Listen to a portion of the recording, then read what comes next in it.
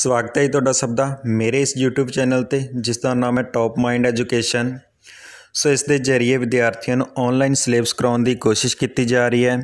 ਸੋ ਸਭ ਤੋਂ ਪਹਿਲੇ ਚੈਨਲ ਨੂੰ ਸਬਸਕ੍ਰਾਈਬ ਕਰੋ ਵੀਡੀਓ ਨੂੰ ਲਾਈਕ ਕਰੋ ਤੇ ਆਪਣੇ ਦੋਸਤਾਂ ਦੇ ਨਾਲ ਸ਼ੇਅਰ ਕਰੋ। ਸੋ ਸ਼ੁਰੂ ਕਰਦੇ ਹਾਂ ਅੱਜ ਦਾ ਟੌਪਿਕ ਸੋ ਪਿਆਰੇ ਵਿਦਿਆਰਥੀਓ, ਤੁਸੀਂ ਜਾਣਦੇ ਹੋ ਜਿਸ ਤਰੀਕੇ ਨਾਲ ਸਾਡਾ ਜੋ ਟੌਪਿਕ ਰਿਸ਼ਤੇ ਨਾਟਕ ਨਾਲ ਸੰਬੰਧਿਤ ਚੱਲ ਰਿਹਾ ਹੈ ਇਸ ਵਿੱਚ ਅਸੀਂ ਪਹਿਲੇ ਇਸ ਦਾ ਵਿਸ਼ਾ ਵਸਤੂ ਕਰ ਚੁੱਕੇ ਹਾਂ। ਸੋ ਅੱਜ ਦਾ ਜੋ ਟੌਪਿਕ ਹੈ, ਰਿਸ਼ਤੇ ਨਾਟਕ ਵਿੱਚ ਪਾਤਰਾਂ ਦੀ ਪੇਸ਼ਕਾਰੀ ਸੰਬੰਧੀ ਆਪਣੇ ਵਿਚਾਰ ਪੇਸ਼ ਕਰੋ। ਸੋ ਇਹ ਕੁਐਸਚਨ ਕਿਸੇ ਵੀ ਤਰੀਕੇ ਨਾਲ ਪੁੱਛਿਆ ਜਾ ਸਕਦਾ ਹੈ ਕਿ ਪਾਤਰਾਂ ਦੀ ਬੰਸਵੰਤਾ ਸੰਬੰਧੀ ਆਪਣੇ ਵਿਚਾਰ ਪੇਸ਼ ਕਰੋ। ਸੋ ਅੱਜ ਦਾ ਟੌਪਿਕ ਸ਼ੁਰੂ ਕਰਦੇ ਹਾਂ। ਜੋ ਰਿਸ਼ਤੇ ਨਾਟਕ ਬਰਿਆਮ ਦੀ ਰਚਨਾ ਹੈ, ਰਿਸ਼ਤੇ ਨਾਟਕ ਦੇ ਜੋ ਤੱਤ ਹੈ ਉਹਦੇ ਚਰਿੱਤਰ ਚਿਤਰਨ ਇੱਕ ਮਹੱਤਵਪੂਰਨ ਤੱਤ ਦੇ ਤੌਰ ਤੇ ਪੇਸ਼ ਕੀਤਾ ਜਾਂਦਾ ਹੈ।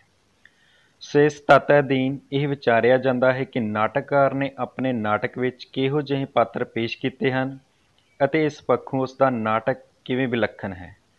ਸੋ ਨਾਟਕ ਵਿੱਚ ਪਾਤਰਾਂ ਨਾਲ ਸੰਬੰਧਿਤ ਹੇਠ ਲਿਖੇ ਪੱਖ ਸਾਹਮਣੇ ਆਉਂਦੇ ਹਨ। ਪਿਆਰੇ ਵਿਦਿਆਰਥੀਓ, ਜੋ ਇਸ ਵਿੱਚ ਦੱਸਿਆ ਗਿਆ ਹੈ ਕਿਸ ਤਰੀਕੇ ਨਾਲ ਜੋ ਪਾਤਰ ਹੈ ਕਿਹੜੇ ਕਿਹੜੇ ਵਿਸ਼ਿਆਂ ਦੀ ਪੇਸ਼ਕਾਰੀ ਕਰਦੇ ਹਨ ਜਾਂ ਕਿਹੜੇ ਕਿਹੜੇ ਖੇਤਰ ਨਾਲ ਸੰਬੰਧਿਤ ਹਨ?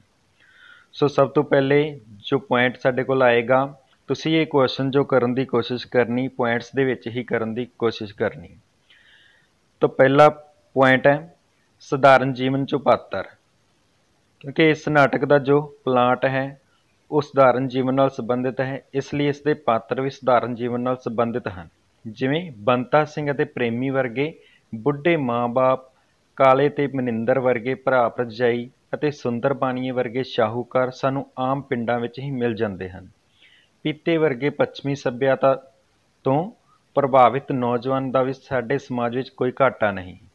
ਸੋ ਇਹ ਸੀ ਕਿ ਜੋ ਸਾਡੇ ਪਾਤਰ ਹੈ ਜਨ ਨਾਟਕ ਦੇ ਪਾਤਰ ਹੈ, ਉਹ ਇੱਕ ਸਧਾਰਨ ਪਰਿਵਾਰ ਦੇ ਵਿੱਚੋਂ, ਸਧਾਰਨ ਪਿੰਡ ਦੇ ਵਿੱਚੋਂ ਲਏ ਗਏ ਆ।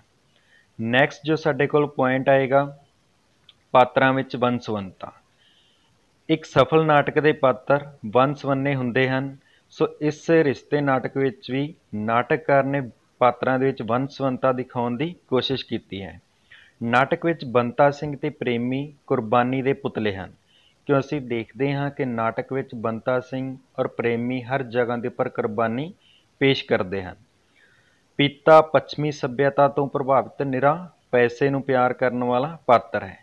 ਕਿਉਂਕਿ ਆਪਾਂ ਜਾਣਦੇ ਹਾਂ ਕਿ ਕਿਸ ਤਰੀਕੇ ਨਾਲ ਪਿਤਾ ਜਦੋਂ ਵਿਦੇਸ਼ ਤੋਂ ਵਾਪਸ ਪਰਤਦਾ ਹੈ, ਤਾਂ ਆਪਣਾ ਸਭ ਕੁਝ ਆਪਣਾ ਸੱਭਿਆਚਾਰ ਇੱਥੋਂ ਤੱਕ ਕਿ ਆਪਣੇ ਮਾਂ-ਬਾਪ ਨੂੰ ਵੀ ਭੁਲਾ ਦਿੰਦਾ ਹੈ। ਉਸ ਤੋਂ ਅੱਗੇ ਕਾਲਾ ਤੇ ਮਨਿੰਦਰ ਅਨਖੀਲੀ ਪੀੜ੍ਹੀ ਨਾਲ ਸੰਬੰਧ ਰੱਖਦੇ ਹਨ। ਸੁੰਦਰ ਬਾਨੀਆਂ ਪਿੰਡ ਦੇ ਸ਼ਾਹੂਕਾਰਾਂ ਵਾਂਗ ਪੈਸੇ ਪੈਸੇ ਦਾ ਹਿਸਾਬ ਕਿਤਾਬ ਰੱਖਣ ਵਾਲਾ ਬਾਨੀਆਂ ਹੈ। ਕੈਲਾ ਇੱਕ ਅਮਲੀ ਹੈ ਜੋ ਜ਼ਿੰਦਗੀ ਨੂੰ ਸੰਜੀਦਗੀ ਨਾਲ ਨਹੀਂ ਲੈਂਦਾ। ਤਾਂ ਇਸ ਤਰੀਕੇ ਨਾਲ ਜੋ ਪਾਤਰ ਹੈ, ਉਹਨਾਂ ਵਿੱਚ ਵੰਨ ਸਵੰਨਤਾ ਪੇਸ਼ ਕੀਤੀ ਗਈ ਹੈ। ਅੱਗੇ ਜੋ ਸਾਡੇ ਕੋਲ ਪੁਆਇੰਟ ਆਂਦਾ ਹੈ, ਵੱਖ-ਵੱਖ ਸ਼੍ਰੇਣੀਆਂ ਦੀ ਪ੍ਰਤੀਨਿਧਤਾ। ਜੋ ਇਸ ਨਾਟਕ ਦੇ ਪਾਤਰ ਨੇ, ਉਹ ਅਲੱਗ-ਅਲੱਗ ਸ਼੍ਰੇਣੀਆਂ ਦੀ ਪ੍ਰਤੀਨਿਧਤਾ ਕਰਦੇ ਹਨ। ਇਸ ਨਾਟਕ ਦੇ ਸਾਰੇ ਪਾਤਰ ਵੱਖ-ਵੱਖ ਸ਼੍ਰੇਣੀਆਂ ਨੂੰ ਦਰਸਾਉਂਦੇ ਹੋਏ ਪੇਸ਼ ਕੀਤੇ ਗਏ ਹਨ। ਜਿਵੇਂ ਬੰਤਾ ਸਿੰਘ ਅਤੇ ਪ੍ਰੇਮੀ ਧੀਆਂ ਪੁੱਤਰਾਂ ਨੂੰ ਮੋਹ ਕਰਨ ਵਾਲੇ ਮਾਪਿਆਂ ਦੀ ਪ੍ਰਤੀਨਿਧਤਾ ਕਰਦੇ ਹਨ।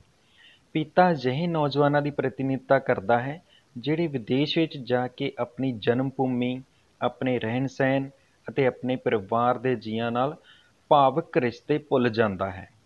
ਕਾਲਾ ਤੇ ਮਨਿੰਦਰ ਨੌਜਵਾਨ ਪੀੜ੍ਹੀ ਦੀ ਪ੍ਰਤੀਨਿਧਤਾ ਕਰਦੇ ਹਨ, ਜਿਹੜੇ ਮਿਹਨਤ ਕਰਕੇ ਆਪਣੇ ਹਿੱਤਾਂ ਨੂੰ ਕੁਰਬਾਨ ਕਰਕੇ ਮਾਪਿਆਂ ਨੂੰ ਸੁਖੀ ਰੱਖਣਾ ਚਾਹੁੰਦੇ ਹਨ।